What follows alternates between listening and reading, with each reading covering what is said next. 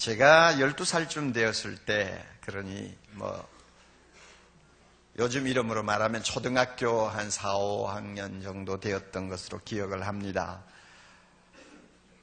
그몇 학생을 앞에 놓고 뭐 특별 지도를 하시던 담임 선생님께서 느닷없이 뭐 미래에 관한 이야기를 하시다가 이런 말씀을 하셨어요. 야, 너희들 참 좋겠다. 너희들 나이로 봐서는 너희들은 2000년이 되는 해를 볼 거야. 그러나 나는 틀렸어. 뭐 이러시더라고요. 그런데 연세로 봐가지고는 그분이 장수만 했다면 충분히 2000년을 볼 수 있는 연세였어요. 그런데 참 세상을 일찍 떠났습니다. 제가 그때 그런 이야기를 들을, 그, 들으면서도 왜 선생님이 저런 이야기를 하시나 하고 전혀 이해를 못했어요. 그럼에도 불구하고 그 말에 항상 마음 한구석에 자리를 잡고 있었습니다. 공부한 거는 다 까먹었는데 그 말은 남아있어요. 이상하다 그랬는데요. 나이가 들면서 세상 경험을 하면서 보니까 저와 함께 공부하던 그부들이 젊은 나이에 세상 떠나는 것을 여러 번 보게 되고 2000년이 되는 그 해를 바라보고 그 정상까지 올라가는 것도 쉬운 일이 아니구나 하는 걸 제가 느꼈어요. 우리 교회 20년 역사에 하나님이 일찍 불러서 가신 분들이 벌써 2,000명이 넘지 않습니까? 그 가운데는 연세가 많으신 분들도 뭐 대부분입니다만은 젊은 나이에 하나님의 부름받고 가신 분들이 있거든요. 그런 분들에 비하면 소위 말하는 new millennium이라고 하는 새로운 원년이 시작되는 이런 어, 기회를 우리가 함께 누리고 그것도 자유와 평화와 번영이 어느 정도 보장이 된 이 환경에서 우리가 새해를 맞게 됐다는 것 참 감사해야 합니다. 하나님 앞에 정말 감사하다는 마음을 가지고 우리가 예배를 드려야 합니다. 사실 겉으로 보기에 뭐 새해라고 해서 달라진 것이 없습니다.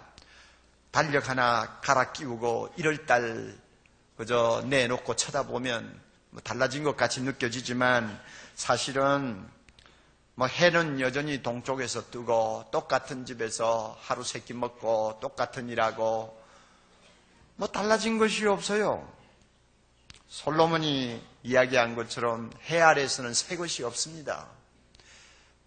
본질적으로 이야기하면 해 아래는 새 것이 없어요. 그럼에도 불구하고 한 가지 분명한 것은 우리 앞에 새로운 도전이 있고 새로운 사건이 기다리고 있고 새로운 제품이 쏟아져 나올 것이고 새로운 변화들이 우리를 기다리고 있다는 사실입니다. 동시에 새로운 가능성과 새로운 희망이 우리 앞에 기다리고 있다는 점에서 분명히 우리는 새로운 시간을 시작했고 새로운 천년을 시작했다고 말할 수 있습니다. 사람 따라서 아마 새해에 경험하는 많은 것들이 다를 것입니다. 금년에 내년에 앞으로 수십 년 동안 각자 나이에 따라 경험하는 것이 다 틀릴 거예요. 어떤 사람은 산을 타오르는 젊은이들처럼 힘차게 도전하는 생을 사는 사람이 있는가 하면 금년에 벌써 정상에 올라가 있는 사람처럼 인생의 절정을 맛보는 사람도 있을 것이고 또 어떤 사람들은 벌써 금년부터 하산하는 사람들처럼 인생의 내리막길에 쓴맛을 은근히 맛보는 하루하루를 살게 될지도 모릅니다. 우리가 겪을 수많은 사건을 새롭게 경험해야 하고 거센 도전과 힘겨운 응전을 하면서 새롭게 하루하루를 맞아야 된다는 점에서 우리는 분명히 새해를 시작했습니다. 그리고 이 길은 아무도 가본 길이 아닙니다. 이런 의미에서 전인 미답의 길입니다. 우리는 이미 이 길을 열고 첫 발을 들여 놓았습니다. 어떻게 가야 할까요? 한 번도 가본 일이 없는 이 길.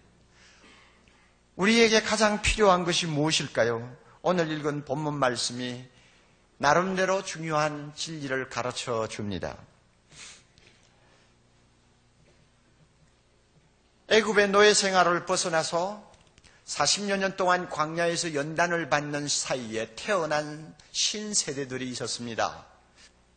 40년 동안 인간이 살만한 조건을 하나도 갖추지 못한 광야에서 연단과 훈련과 고통을 맛본 신세대들이 여수아라고 하는 새로운 지도자를 앞세우고 하나님이 약속한 꿈에도 그리던 가나안 땅을 향해 계속 진군을 해왔습니다.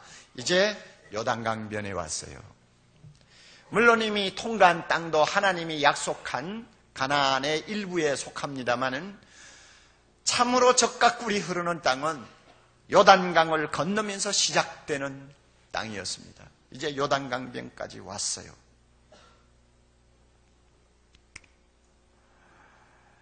그 앞에는 요단강이 가로막고 있고 요단강 다음에는 난공불락이라고 흔히들 말하는 여리고 성이 버티고 있었습니다. 이런 길을 이제 가야 합니다. 그래서 사절에 하나님이 이런 말씀하시죠. 중간쯤 너희가 이전에 이 길을 지나보지 못하였음이니라 옛날에는 가보지 못한 길이다. 처음 발을 딛는 내딛는 길이다 하는 이야기입니다. 전인 미답의 길을 그들이 들어섰다는 이야기입니다. 이런 이유로 하나님은 이스라엘의 새로운 세대들에게 두 가지를 특별히 명령하셨습니다. 첫째는 너희들 스스로 성결케 하라 하는 것입니다.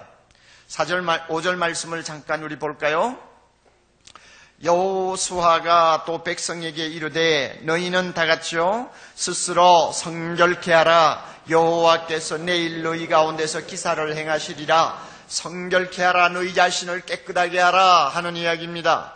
그래서 성결케 하도록 하기 위해 이스라엘 백성은 자기의 옷을 빨아야 했습니다. 하나의 의식이죠. 먼지 뒤집어 쓴 옷, 때국이 흐르는 옷을 아마 요단강 물에다가 시원하게 빨아서 말려가지고 아마 깨끗하게 입도록 했던 것 같아요. 그 외에도 여러 가지 아마 의식이 있었을 것입니다. 성결케 하는 것이었습니다. 그러면 왜 성결케 하라고 주님이 말씀하셨느냐? 이스라엘 백성 앞에서 이적을 하나님이 행하기 위해서였습니다. 내가 너희 가운데 기사를 행하리라. 그 기사는 다른 것이 아니라 요단강을 갈라서 그 땅을 마른, 마르게 하시고 백성들을 아무 어려움 없이 건너도록 하는 일입니다. 하나님이 그 이적을 행하도록 하기 위하여 먼저 성결하라고 그랬습니다. 우리 하나님은 이스라엘 백성들이 나룻배를 만들거나 밧줄을 양쪽 끝에 매달아 놓고 요단강을 힘겹게 건너가는 것을 허락지 않았습니다. 그렇게 해가지고 될 일이 아니에요. 서로 그렇게 해서 건너간다고 해도, 건너간다고 해도, 건너가는 도중에 여리고에 있는 군대들이 쏟아져 나와서 공격을 하면은 마치 을지문덕 장군이 살수대전 때 중국 군인들을 전부 물속에 장사 지난 것처럼 하는 그런 비극이 벌어질 확률이 참 많았어요. 그러므로 하나님이 그렇게 해서는 될 일이 아니고 200만 명이 어떻게 밧줄 타고 나룻배 가지고 건너갑니까? 그 당시만 해도 우기, 겨울 우기를 맞아서 지금 강물이 불어나가지고 뚝에도 넘치는 지금 아주 큰 물이 흘러내려가고 있었습니다. 우리가 요즘에 성, 성지순례라고 해가지고 큰 기대를 갖고 한번 가보면요. 제일 실망하는 곳 중에 하나가 요단강입니다. 아마 여러분 앞으로 이제 기회를 내서 가보셔야 되겠지만은 우리는 뭐 요단 강가 건너 만날이 뭐 이러면서 뭐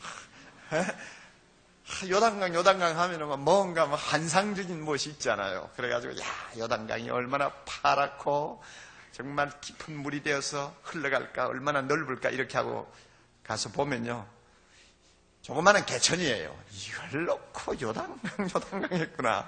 그런 생각이 들어요. 그러나요? 지금부터 3천여 년 3,500여 년 전의 사건입니다. 지금 우리가 읽고 있는 것이. 10년이면 강산이 변한다고 그래요. 요즘 3, 40년 지나서 고향 한번 가보세요. 옛날에 그렇게 커 보였던 개천이 지금은 정말로 뭔지 하수도처럼 보이잖아요. 마찬가지로 3,500년 전이었으니까 이 강이 만만치 아니한 강이었다는 것도 우리가 상상을 할 수가 있습니다. 그런 이 강을 건너가는 것, 이스라엘 백성들의 힘으로 안 돼요. 그 많은 대군이 적의 공격을 받지 않고 무사히 건너는 것은 불가능한 일입니다.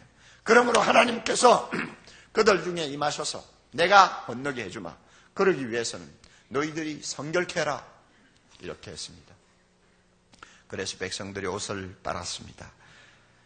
옷을 빨고 거룩하신 하나님이 그들 가운데 임하셔서 기적을 베푸실 수 있는 환경을 만들었습니다. 하나님은 거룩합니다. 더러운 곳에 하나님이 임재할 수 없습니다. 더러운 사람들의 마음에서 하나님이 일할 수 없습니다. 그러므로 그들은 성결하게 했습니다. 두 번째로 하나님이 요구하신 것은 언약계를 따르라는 것이었습니다.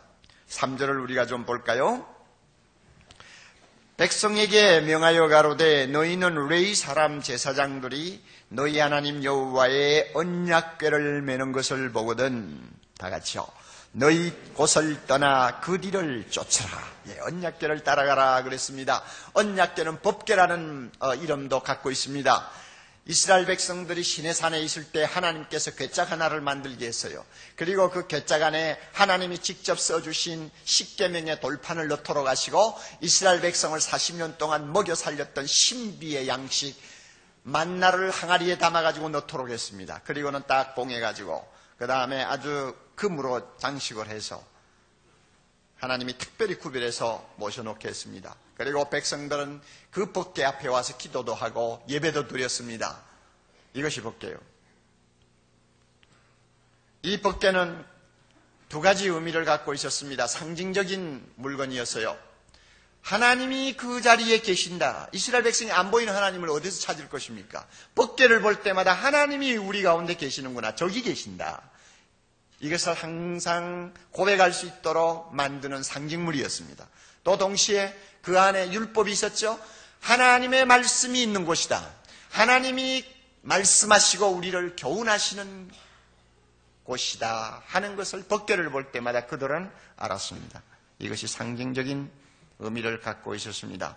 이 법계는 보통 사람이 와서 절대 만지면 안 됩니다. 하나님이 따로 구별한 제사장들이 어깨에 메고 항상 운반했습니다. 그런데 이제 제사장들이 법계를 어깨에 메고 갈 때 이스라엘 백성은 그 뒤를 따라오라는 것입니다. 옛날에는 구름 기둥을 보고 따라오라고 그랬는데 이번에는 구름 기둥은 없어졌어요. 법계를 보고 따라오라고 그래요.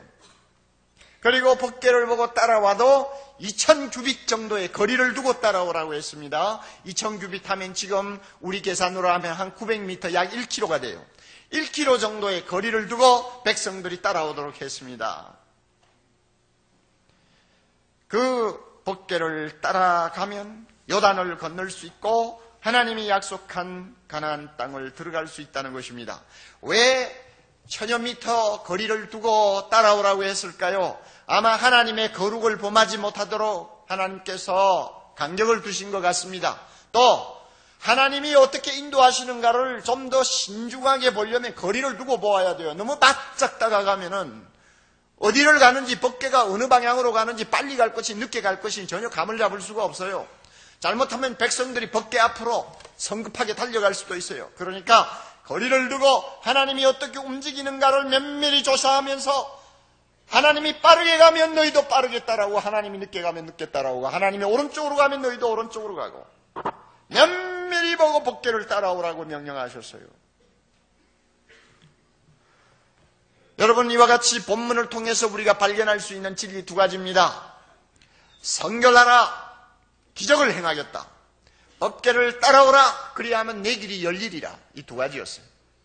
전인 미답의 길을 향해서 발을 옮겨놓는 이스라엘 백성에게 하나님이 두 가지를 요구하셨고 약속하셨습니다.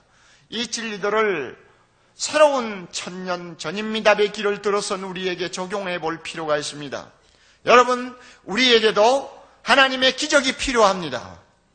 우리에게도 하나님의 인도하심이 필요합니다. 절대로 필요합니다. 한 번도 가보지 못한 길이기 때문입니다. 우리 앞에도 요단강이 소리를 지르면서 흘러내려가고 있습니다. 우리에게는 기적이 필요합니다. 하나님의 기적이 필요합니다. 여러분, 우리가 세상을 살다 보면 우리 힘으로 할 수 있는 일이 많죠. 하나님이 우리를 세상에 내보내시면서 아무것도 못하는 아주 무능한 존재로 보내지 않았어요. 다 세상에 나올 때 자기 먹을 것 가지고 나온다고 그러잖아요. 다 우리 힘으로 할 수 있는 거 많아요. 다 많아요. 그러나 아홉 가지를 내 힘으로 했다고 할지라도 한 가지 내 일 내 힘으로는 도무지 할 수 없는 것들이 있어요. 그런데 경우에 따라서는 내가 할 수 없는 이 한 가지 때문에 내 인생에 운명이 좌우되는 때가 많아요. 어떤 면에서 내가 할 수 있는 모든 것보다 내가 하지 못한 한 가지가 더 중요할 때가 많아요. 이럴 때 기적을 행하시는 하나님의 도우심이 절대로 필요합니다. 내가 7전 8기 하면서 오늘날까지 악착같이 살아왔습니다. 그러나 이제는 일어설 힘조차 없어질 때 어떻게 합니까? 하나님의 기적이 아니면 못 일어나요. 그렇게 믿었던 건강을 갑자기 잃어버렸을 때 모든 것이 다 날아갑니다. 내가 어떻게 해야 합니까? 하나님의 기적만이 나를 다시 회복시킬 수 있는 것입니다. 그럴 때가 얼마나 많아요. 그렇게 믿었던 자녀들이 갑자기 탈선하고 잘못됩니다. 아무리 구슬고 아무리 협박하고 아무리 매를 때려도 소망이 없습니다. 어떻게 해야 합니까? 하나님의 기적이 필요한 거예요. 내가 하나님의 영광을 가리게 될지도 모르는 시험에 빠졌을 때 내 힘으로 그 벼랑을 타고 올라갈 수가 없어요. 하나님의 기적이 필요해요. 만만찮은 도전들을 받을 때에 준비가 안 돼 있다든지 내가 도전할 능력이 없을 때 어떻게 합니까? 하나님의 기적이 필요합니다. 우리 앞에 도도하게 흘러내려가는 요단강을 말려주시는 하나님의 능력이 필요할 때가 우리 생애에도 너무너무 많습니다. 하나님이 누구십니까? 하늘과 땅을 창조하신 영원하신 우주의 주인이십니다. 하나님이 누구십니까? 홍해를 갈라 이스라엘 백성을 건너가게 하신 전지전신 전능하신 분이십니다. 하나님이 누구십니까? 광야에서 하늘로부터 만나를 내려 40년 동안 수백만 명의 백성들을 먹여 살린 분이요. 하나님이 누굽니까? 메마른 광야에서 바위를 깨뜨리시고 강 물처럼 물이 솟아나게 하신 분이십니다. 하나님이 누구십니까? 죽은 자를 살리시는 생명의 주인이십니다. 이 하나님이 우리 아버지 되십니다. 할렐루야. 그러므로 우리는 수시로 수시로 하나님을 찾아야 됩니다. 하나님 오시옵소서 요단강을 갈라주옵소서 기적을 베풀어 주시옵소서 기도 안 할 수가 없어요. 시편 105편 4절의 말씀처럼 여호와와 그 능력을 구할지어다 그 얼굴을 항상 구할지어다 여호와와 그 능력을 구할지어다 그 얼굴을 항상 항상 구할지어다 이렇게 하기 위해서는 우리 모두가 자신을 스스로 성결케 해야 합니다. 하나님의 기적을 보기를 원합니까? 하나님이 기적을 행하실 수 있는 환경을 만들어 주어야 합니다. 마음이 깨끗하지 않는데 어떻게 하나님이 그 마음에 오십니까? 미워하고 증오하고 용서하지 못하고 더러운 생각을 가슴에 품고 있는 마음에 하나님이 어떻게 기적을 행하십니까? 가정에 죄가 있을 때 그 가정의 어려운 문제를 하나님이 해결해 주실 수 있을까요?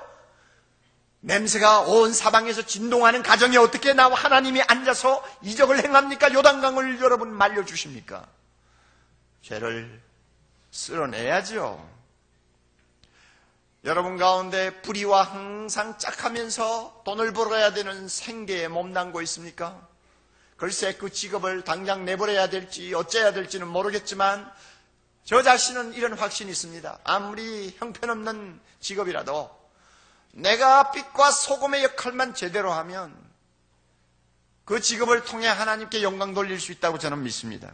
일단 죄와 자, 죄와 짝하지 말아야 됩니다. 그래서 내 직업을 거룩하게 하나님의 제사가 되도록 만들어야 돼. 그래야만이 우리 하나님이 능력 있게 임하셔서 필요할 때마다 기적을 주십니다. 신문에 어떤 인사가 일간지 기자와 함께 인터뷰하는 내용에 이런 말이 있더군요. 요사이 우리나라 정치인들, 여러분 이 가운데 정치하시는 분 계시면 양해하고 들으십시오. 뭐 사실이니까요. 우리나라 정치인들은 성경에 나오는 10계명 중 3계명은 아주 식은 죽먹기로 범하고 산다. 그러더라고요. 무슨 10계명을 그렇게 범하느냐 했더니 도적질하지 말라. 그런데 지능적으로 도적질하면서 자기 배만 채운다 그거예요. 살인하지 말라 그랬는데 정적이라든지 자기에게 좀 거치장스러운 사람들은 무조건 보복하고 집어넣고 그 다음에 중상모략해서 일어서지 못하도록 죽여놓는다는 거죠. 거짓말하지 말라고 하는데 세상에 거짓말을 얼마나 잘하는지 참말처럼 해버리니까 다 넘어가는 거예요. 여러분 정치인들만 이렇습니까? 오늘 우리 사회를 보세요. 얼마나 사회가 더럽습니까? 이런 나라에 하나님이 어떻게 임하셔서 기적을 행할 수 있습니까? 예? 사회가 온통 거짓에 거짓이 꼬리를 물고 이제는 누구 말이 옳은지 무엇을 믿어야 될지 갈피를 잡을 수가 없고 그 분야 옳은 것을 가려내고 거짓된 것을 가려내기 위해서는 전문 수업을 특별히 받아야 될 정도의 사회가 되어버렸어요. 정가표를 보고 믿을 수 있는 사람이 누가 있습니까? 여러분 물건의 생산지 표시를 보고 믿을 사람이 누가 있습니까? 약품의 정량도 다 속여요. 세계적으로 가장 유명하고 전통이 있다고 하는 제품일수록 더 가짜가 많이 판을 치는 이 세상. 거기에 여러분 기독교인들이 다 한 몫을 하고 있다는 것을 아세요? 이런 기막한, 기막힌 현상을 우리가 보면서 아무리 새벽에 나와서 기도해봐라. 아무리 주여 삼창 하면서 소리를 고래고래 지르고 천장이 날아갈 듯이 아우성을 쳐봐라. 하나님이 기적을 행하시나? 안 되는 거예요. 우리나라가 그렇게 기도 많이 한다고 떠들어대도 왜 기적이 일어나지 않습니까? 이유가 있어요. 우리 자신을 성결케 해야 되는데 성결케 하지는 않고 하나님 오시옵소서 기적을 행하시옵소서 하니까 하나님이 무슨 뭐 바보입니까? 천치입니까? 예?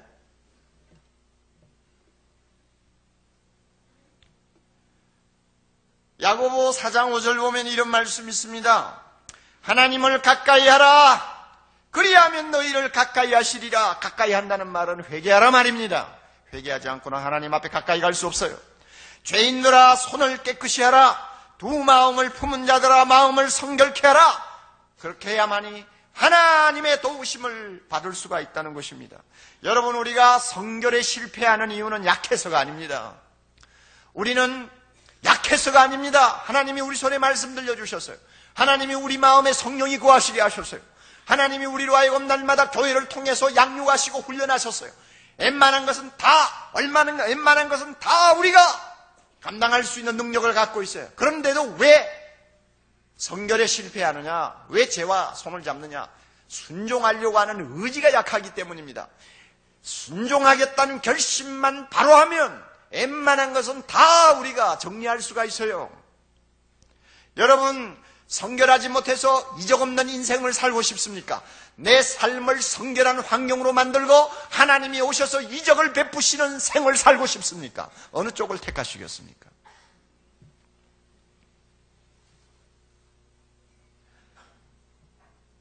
인구의 4분의 1이라고 하는 이 나라, 인구의 4분의 1이 그 기도, 기독교인이라고 하는 이 나라, 이게 또 꼴이 뭡니까?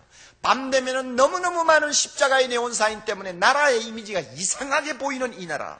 여러분, 이름에도 불구하고 이 땅이 이게 뭡니까? 유럽 어느 나라에서 지난 몇 년 사이에 환경이 다시 좋아지기 시작했다는 기록이 있습니다. 유럽도 한때는 환경이 좋지를 않았어요. 그런데 어떻게 갑자기 그렇게 살기 좋고 쾌적한 나라로 바뀌었느냐? 기록을 보니까요. 전체 인구의 3%에 해당하는 소수의 사람들이 환경보호에 적극적으로 동참하여 작은 일에서부터 그러니까 설거지 아저 저 쓰레기 수거하는 것부터 어, 분리 수거하는 것부터 시작해서 아주 조그만한 일에서부터 정성을 다해서 환경을 살리려고 노력한 덕분에 오늘 유럽 사회가 그 작은 땅덩어리가 그래도 세계에서 가장 깨끗한 나라로 바뀌었다는 것입니다. 여러분 우리는 상식적으로 알지 알고 있지 않습니까? 바닷물이 저렇게 짜고 썩지 아니하는 이유는 3%의 염분 때문이라고요. 바닷물이 95%가 소금이 아니에요. 3%가 소금이 들어가 있어요. 그러기 때문에 바다는 영영이 썩지 아니하고 항상 짠맛을 유지할 수 있습니다.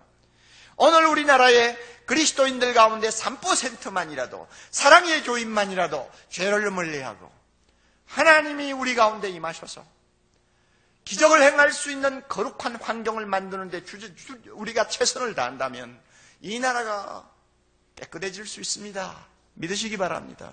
하나님의 기적이 임하실 수 있습니다. 믿으시기 바랍니다. 여러분 사소한 예입니다만 이런 거 한번 들어보세요. 1930년대인가요? 프로펠러 하나 달린 단발기를 몰고 대서양을 처음 횡단한 영웅이 있죠. 린더버그 데이라고 하는 사람입니다. 이거는 생명 걸고 모험하는 일입니다. 수많은 사람이 그 일을 도전했다가 생명을 다 잃었어요. 린더버그 대위 조그마한 비행기 타고 서른 몇 시간 동안 대서양을 횡단했습니다.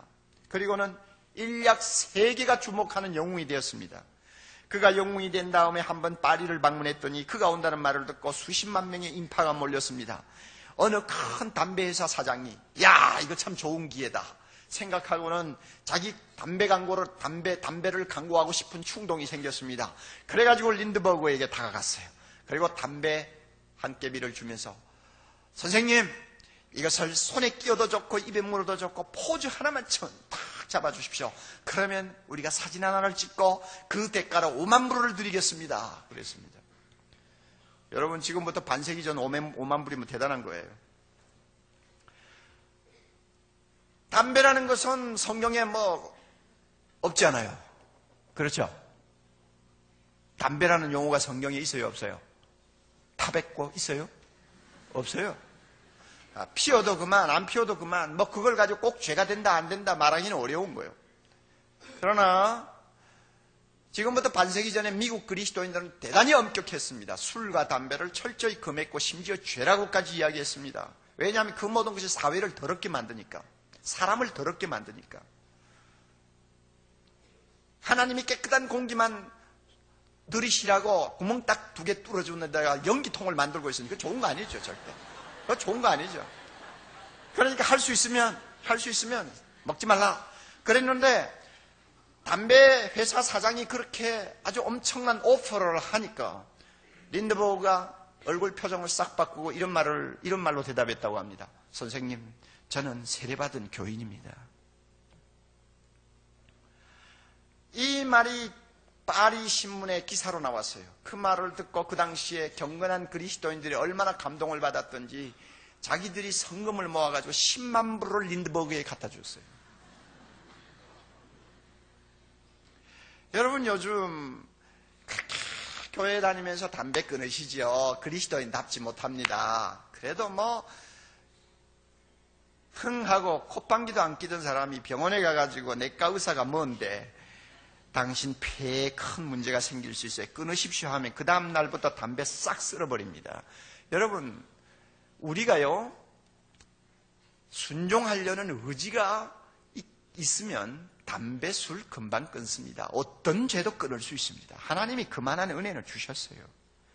그러므로요, 하나님의 기적을 원하십니까? 요단강이 가로막힐 때 하나님이 그 요단강, 요단강 물 사이를 끊어서 마른 땅을 열어주시기를 원합니까? 거절할 것은 거절할 줄 아는 사람이 되시기를 바랍니다. 끊을 것은 끊을 줄 아는 사람이 되시기를 바랍니다. 거룩한 사람 되시기를 바랍니다. 그런 일은 하지 않고 날마다 급하면 하나님 하나님 찾는 그런 꼭 좀 무속 신앙을 믿는 흔히 흔해 빠진 그런 식의 신앙생활 하지 마세요. 다음에는 우리에게 안내자가 필요합니다. 전인 미답의 길 확실한 안내자가 앞서가야 합니다. 여러분 21세기 사전이라는 책을 쓴 사람이 있어요. 자크 악달라라고 하는 사람인데 21세기에 일어날 수 있는 새로운 일을 전부 모아가지고 정리를 하다 보니까 그만 사전이 돼버린 거예요. 너무 많아가지고. 그래서 21세기 사전이요. 거기 보면은 21세기 사람의 사람들의 특징은 도시 유목민이 된다는 말을 했습니다. 살기는 도시에 살아요. 무슨 초원에 사는 것도 아니고 뭐 산에 올라가서 뭐 외따르, 외, 외따르게 뭐 짐승을 데리고 사는 거 아니에요. 살기는 번화한 도시에 사는데 그들의 정신세계, 그들의 마음은 전부 유목민이요. 정착이 안 되는 거예요. 안정이 안 되는 거예요. 눈만 뜨면 뭘 하고 살까? 오늘은 어디를 갈까? 자, 이놈 아파트 진절이 나니까 팔아치우고 또 좀 좋은 데 가면 안 될까? 날마다 생각이 떠 있어요. 방랑인이요. 유목인이요. 21세기 사람들이 그렇게 된대요. 여러분 만약에 우리 모두가 그런 성향으로 빠진다면 우리가 날마다 어느 길을 가야 하며 무엇을 해야 할 것인가를 분명하게 가르쳐 주시는 안내자가 얼마나 필요합니까? 예수님의 안내자가 되어야 돼요. 우리가 잘 알지 않습니까? 21세기 사람들이 유목민이 될 수밖에 없어요. 인터넷은요, 벌써부터 시작됐어요. 기업을 완전히 바꾸어 놓습니다. 앞으로 재벌요, 아마 유지하기 어려울 거예요. 우수한 인력들은 재벌의 그 숨막히는 분위기에서 살잖아요. 다 빠져나가요. 그러면 재벌도 무너지는 거예요. 벤처가 점점 점점 활기를 띨 거예요. 그리고 벤처 자체도 내 마음에 안 든다 하면은 우수한 인력들은 제 마음대로 빠져나가 버려요. 기업의 모든 환경을 바꾸어 버립니다. 인터넷은 문화를 바꾸어 버립니다. 여러분 그렇잖아요? 가치관까지 바꾸어 버리는 세상이 이제 우리 눈앞에 왔습니다. 온 사회가 점차 디지털화 되어 가면서 생활 방식이 완전히 바뀌어요. 완전히 180도로 달라져요. 시장 바구니 들고 왜 백화점에 가서 돌아다닙니까? 힘겹게. 집안에서 똑딱똑딱 누르면 다 사고 다 들어오는데 뭐 때문에 그렇게 합니까? 그렇잖아요. 뭘 그렇게 전화기를 대고 여보세요. 114지요. 몇 번, 저, 저, 무슨, 무슨 회사 전화번호 좀 대주세요. 무슨 그런 짓을 하고 앉았습니까? 그럴 필요가 없어요. 앉아서 다 디지털화된 컴퓨터 놓고 다 하는데요. 여러분, 이렇게 되면 사회가 온통 바뀝니다. 최근에 신문에 나왔죠. 소익 부라는 말 들어봤어요. 노익 빈이라는 말 들어봤어요. 저도 처음 듣고 여러분도 처음 듣는 이야기요. 우리는 아직도 이제 갓 결혼하고 나이가 젊은 사람들은 작은 아파트에 사는 것을 당연히 알아요. 돈도 얼마 없다고 생각하고 있어요. 차도 적은 차를 굴리는 것을 우리는 상식으로 알고 있어요. 그리고 적어도 50대 이상 되면은 그 사람의 경력과 경험에 의해서라도 지금까지 노력한 그 결과에 의해서라도 저 좀 큰 집 살고 큰 차 굴러도 아 당연하다 이렇게 우리 받아들였어요. 그러므로 나이가 좀 들고 안정된 세대는 돈이 많고 그 다음에 나이가 아직 덜 어리고 이제 갓 출발하는 신세대는 돈이 없다. 우리는 항상 이렇게 생각하잖아요. 그러나 우리 앞에 이제 문을 연 21세기 불과 10년 안에는요. 거꾸로 돼요. 젊은 사람일수록 돈이 더 많아져요. 큰 차 타고 다니고 큰 맨션에 살아요.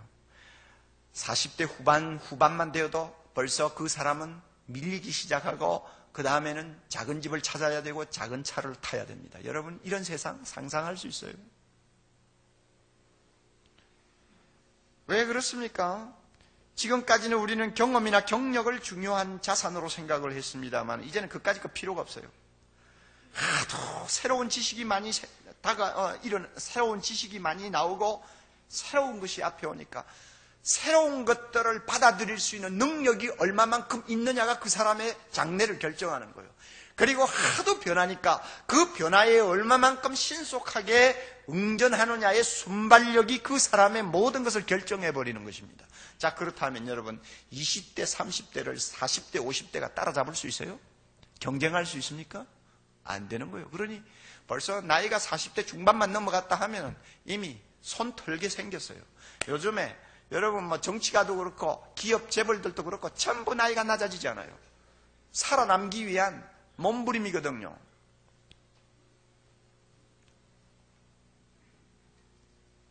이런 요징형 같은 세상이 우리 눈앞에 문을 열고 있는데 우리 힘으로 길 찾아서 걸어가겠습니까? 우리 힘으로 선택 잘할 수 있을까요? 우리에게는 믿을 만한 안내자가 필요합니다. 우리는 힘 없어요. 제 나이쯤 돼도요, 그렇게 잘하던 컴퓨터 손가락도 대고 싶잖아요. 물론 비서가 옆에 있으니까 더 그렇지만.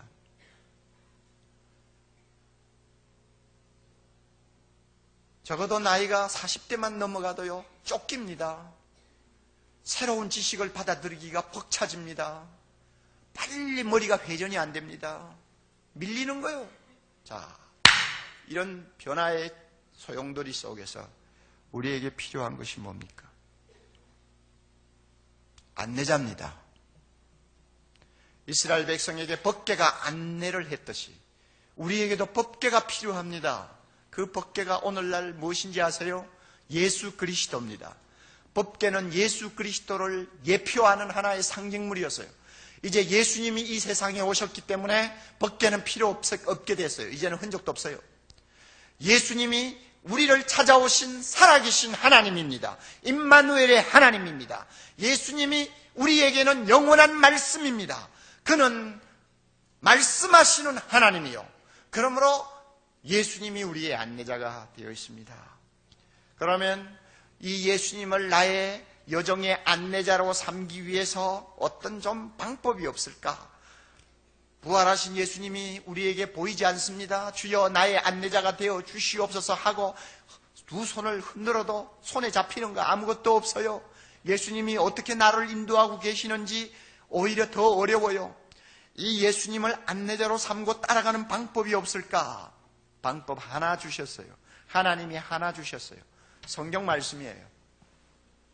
이 말씀을 펴면 우리는 우리 인생길을 안내하기 위해 준비하고 계시는 예수 그리스도를 만납니다. 성경 말씀을 읽고 성경 말씀을 앞에 놓고 설교 듣고 배울 때 성령이 우리 마음을 감동하십니다. 그리고 깨닫게 하십니다. 잘 들으세요. 성령, 성령께서 하나님의 말씀을 통해서 살아계신 예수님의 음성을 듣게 하는데 그 음성이 뭔지 아세요? 깨달음이에요. 잘 들으세요. 다시. 성경 말씀을 읽고 성경 말씀을 통해 설교를 듣고 성경 말씀을 공부할 때에 성령이 우리 마음에서 역사하십니다. 그래서 살아계신 예수 그리스도의 음성을 듣게 합니다. 그 음성이 뭐라고요? 깨달음이라고 그랬죠. 깨달음이라고. 유달리 나를 위해서 주시는 말씀이라는 확신이 서는 깨달음이 있어요. 그 깨달음이 바로 주님이 나를 안내하시는 손길입니다. 그 깨달음을 가지고 아 이것은 해야 되겠다 안 해야 되겠다. 이 길은 가지 말아야지. 좀 더 기다려야지. 아니야 이것은 하나님의 뜻이 아니야. 이 길은 어려워도 하나님이 가라고 하는 길이야. 하는 것을 나름대로 다 분별할 수 있게 해주시는 것입니다. 이런 의미에서 사랑하는 형제자매 여러분 주의 말씀은 내 발의 등이요 내 길의 빛이니라고 한 위대한 선배들의 말씀 간증을 마음에 잘 담으시기를 바랍니다 그러므로 날마다 하나님 말씀 앞에 놓고 이렇게 기도하고 부르짖어야 합니다. 하나님 아버지여, 나에게 듣는 법을 가르쳐 주옵소서. 하나님 아버지여, 말씀하옵소서 주의 종이 듣겠나이다. 하는 이런 기도가 항상 우리 가슴에 있어야 됩니다. 그래야만이 주님이 나의 안내자 되심을 우리가 알 수 있어요. 이런 의미에서 여러분 주일 예배를 등한히 하지 마세요. 이 시간 아무리 행편없는 설교자가 이 시간 설교를 해도요. 하나님께서는 여러분의 마음을 열어 깨닫게 하시는 은혜를 주시려고 준비하고 계십니다. 아, 그렇구나. 여러분 마음에 계속 깨달음이 오고 집에 돌아가서도 자동차를 타고 길을 가는데도 그 말씀이 계속 자꾸 자꾸 반복이 되어서 생각이 나고 그 말씀이 이상하게 나를 끌고 가는 것 같이 느껴질 때는 벌써 누가 여러분을 인도하고 계시는 겁니까? 예수님이 인도하고 계시는 것입니다. 예배 시간 설교 듣는 것 등한히 하지 마세요. 수요일 저녁도 열심히 나오세요. 다락방에도 열심히 나가 배우세요. 할 수 있는 대로 여러분 주님의 음성을 듣는 일에 주님을 나의 안내자로 삼고 그가 오라고 하는 손길을 여러분이 발견할 수 있는 방법이라면 여러분 하나님의 말씀을 배우는데 등한히 하지 마시기를 바랍니다. 잠언 3장 5절 6절에 이렇게 말씀합니다. 너는 마음을 다하여 여호와를 의뢰하고 내 명철을 의지하지 말라. 마음을 다하여 여호와를 의뢰하는 방법이 하나님의 말씀 앞에 겸손하게 앉는 것입니다. 너는 범사에 그를 인정하라 그리하면 내 길을 지도하시리라.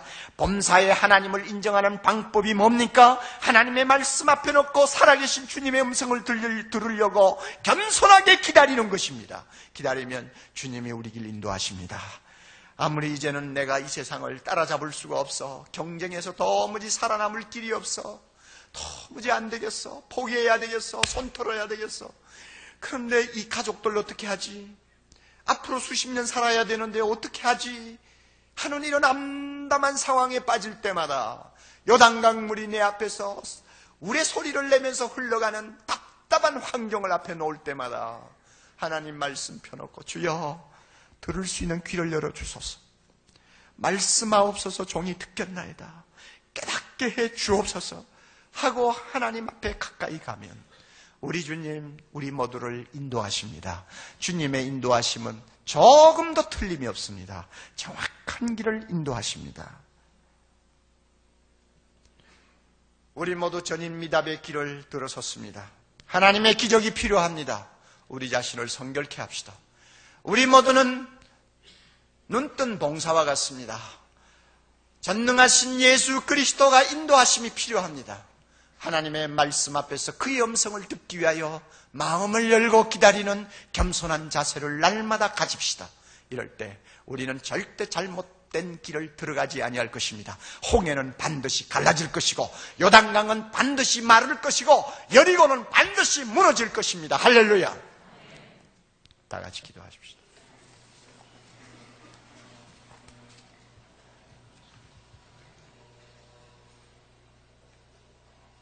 거룩하신 하나님, 세상은 점점 악해지고 복잡해집니다. 하나님 아버지, 우리 마음에 여유가 없습니다. 유목민들처럼 정신과 생각이 정착을 하지 못하고 있습니다. 주님, 우리 앞에는 어떤 일이 발생할지 전혀 예측도 할 수가 없습니다. 우리는 마치 이스라엘 백성이 요단강을 앞에 놓고 암담해 하듯이 우리 모두가 21세기를 앞에 놓고 어떤 때는 자신감도 잃어버리고 어떤 때는 소망마저 잃어버리는 안타까움을 느낄 때가 많이 있습니다. 주여 우리에게는 하나님의 기적이 필요합니다. 주여 우리에게는 예수 그리스도의 인도하심이 필요합니다. 주님, 죄와 짝하는 생활 하지 말게 하시고 하나님이 내 안에서 내 가정에서 우리 사회에서 이 나라에서 기적을 행하실 수 있도록 우리는 죄를 담대하게 거부하고 거룩한 삶을 사는 하나님의 백성 되게 해 주옵소서. 우리에게 하나님의 인도하심이 필요합니다. 내 명철을 의지하지 말고 하나님 말씀 앞에 엎드려서 주여 말씀하옵소서 종이 듣겠나이다 하는 겸손한 자세로 날마다 말씀의 깨달음을 가지고 하루하루를 사는 거룩한 백성 되게 하옵소서. 그리하여 이 21세기를 통해 우리의 꿈이 이루어지고 하나님의 나라가 이 땅에 임하며 여호와 하나님이 영원토록 영광을 받으시는 아름다운 시대가 펼쳐질 수 있도록 축복해 주옵소서. 예수님 이름으로 기도하옵나이다. 아멘.